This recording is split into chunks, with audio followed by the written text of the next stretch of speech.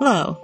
I want to set up some result views in PERC RVE and share them with my team so that we are all looking at the important results and data. First, I need to set up my different views and bookmark them. I already have one user bookmark which applies a filter for the CD property.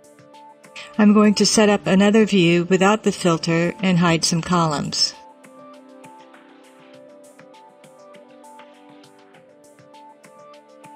I'll add this as a user bookmark and give the bookmark name as all. Now I need to export the bookmark. I'll give it the name bookmark PERC. This saves both of my user bookmarks as an admin bookmark file. The file extension is added automatically. Exit RVE.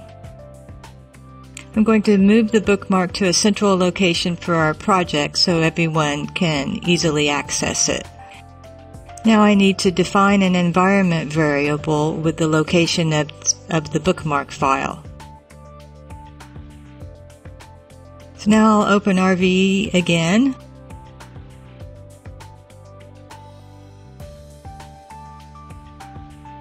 and I can see that my two user bookmarks are now admin bookmarks. Everyone on the team can load the same bookmarks by specifying the environment variable. My user bookmarks are reloaded as usual, but I can delete them because they are no longer needed. If you want to add a new bookmark to the admin bookmark file, you can do so. Simply define a new bookmark as a user bookmark,